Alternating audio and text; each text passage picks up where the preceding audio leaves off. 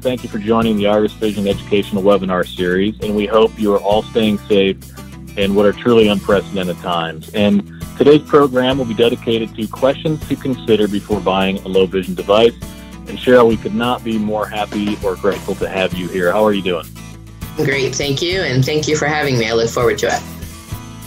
We're going to be discussing in a Q&A from, from your perspective on considering vision goals, right?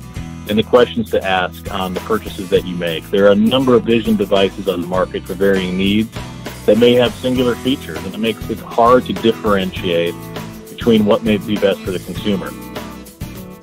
Great. I would love to, to talk about those things. And there's a lot of questions that I always ask my patients when I see them. And uh, and so some of the questions I'll go through and we'll just talk about them here is, you know, is the product that you're going to purchase, particularly if it's a technology product, is it, and is it FDA registered and clinically validated?